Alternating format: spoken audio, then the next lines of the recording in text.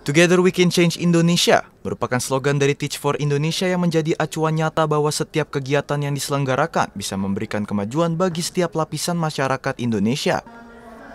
TFI sendiri merupakan program Bina Nusantara yang berfokus pada pengembangan pendidikan masyarakat dengan penekanan pada pendidikan gelar dan non-gelar serta keterampilan.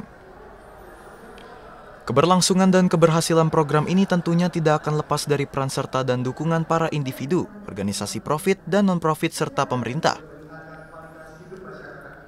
Melibatkan hingga 25.000 orang volunteer untuk turut membantu mewujudkan setiap kegiatan positif yang dilakukan, TFI mengadakan acara TFI Award 2019 guna memberikan apresiasi kepada setiap pihak yang telah terlibat.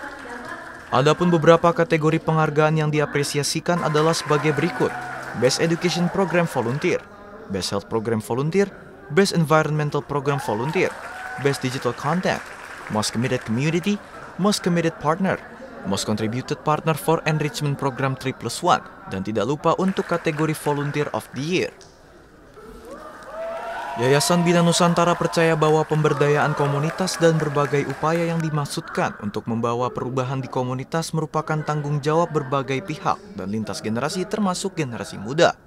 Sebenarnya perasaan aku pasti bahagia ya jadi Best Volunteer of the Year. Tapi menurut aku sih sebenarnya award itu bukan segalanya. Jadi sebenarnya emang aku tuh nggak bukan orang yang harus dikasih reward, harus dikasih award untuk kayak oh gue gue volunteer enggak karena emang uh, awal aku volunteering emang aku pengen feedback ke masyarakat aku emang ingin berdampak kepada masyarakat jadi sebenarnya award itu bukan apa-apa sih buat aku Diharapkan dengan adanya ajang TFI Award ini akan menjadi semangat baru pada setiap pihak termasuk di dalamnya. Volunteer dan komunitas serta mitra organisasi telah mengerahkan tenaganya demi mewujudkan mimpi serta menjadikan Indonesia ini menjadi lebih maju dan lebih baik lagi.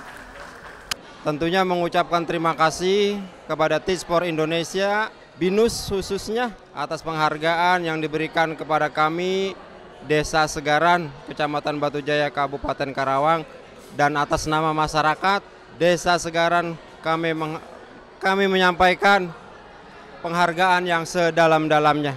Banyak hal yang telah dilakukan oleh TFI Indonesia, di antaranya telah mengaplikasikan ilmu mereka di bidang teknologi IT dengan adanya Desa Segaran sekarang telah memiliki website, Instagram dan se dan semacamnya. Kemudian harapan kami terhadap TFI ke depannya.